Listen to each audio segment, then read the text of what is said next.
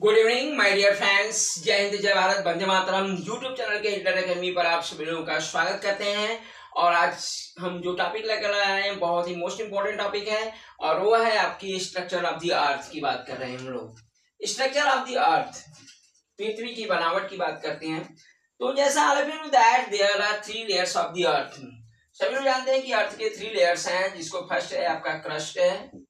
Second है आपका mental और थर्ड है आपका कोर ओके गाइस ये three layers of the earth हैं. क्रस्ट की बात करते हैं तो uppermost layer of the earth is called crust पृथ्वी के ऊपरी लेयर को क्या कहा जाता है? क्रस्ट कहा जाता है, जो सॉलिड है आपका. ओके अब क्रस्ट के, अगर हम थिकनेस की बात करते हैं तो यह प्लेस टू प्लेस पर क्या है? चेंज है. मतलब हर जगह अर्थ की जो क्रस्ट की जो मोटाई है, वह क्या है? सब जगह एक जैसा नहीं है.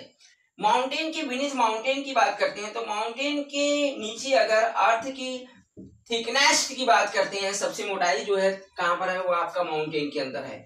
जितना कि इसकी मोटाई कितना है, आपका सेवनटीन किलोमीटर है। और अगर हम ओशियन की बात करते हैं तो ओशियन के अंदर सबसे थिनेस्ट माना जाता है अर्थ को, जिसकी जो है पतला, पतली जो कहते हैं वह seven four to seven kilometre जो है, इसकी थिनेस्ट है। थिनेस्ट मतलब थीन मतलब पतली है। पतली लेयर है। फोर टू सेवन किलोमीटर यह ओशन के अंदर है। माउंटेन पर क्या, माउंटेन के नीचे क्या है? सबसे ज़्यादा मोटाई है अर्थ की। ओके?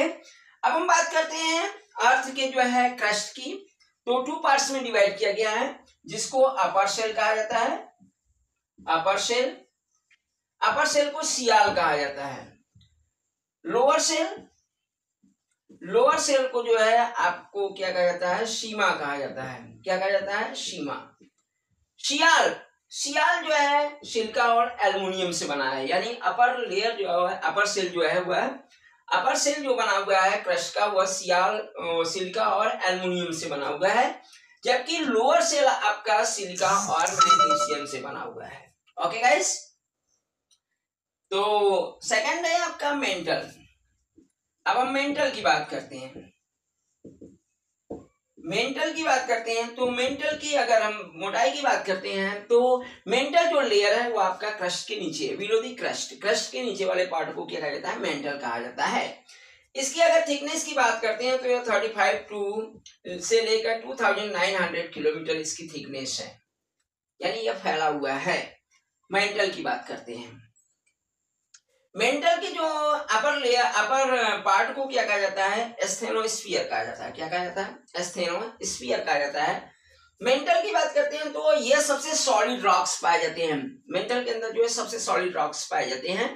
और रही बात जो है, यह मैग्नीशियम और जो है आपका मैग्नीशियम और आयरन से मिलकर जो है यह बना हुआ है। आयरन और मैग्नीशियम से मिलकर यह क्या हुआ है? बना हुआ है।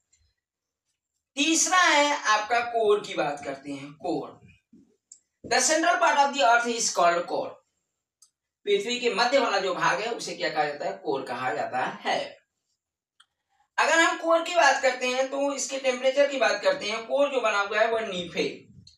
नीफे मीन्स होता है यन का मतलब होता है निकल, और यफे का मतलब होता है आयरन। निकल और आयरन से मिलकर बना हुआ है, कोर। इसके टेम्परेचर की बात करते हैं तो कोर का जो टेम्परेचर है वो two thousand seven hundred degree Celsius है। कितना है? Two thousand seven hundred degree Celsius है।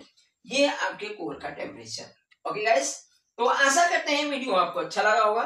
और वीडियो आपको अच्छा लगा होगा तो प्लीज़ लाइक से और सब्सक्राइब करें। ओके जय हिंद।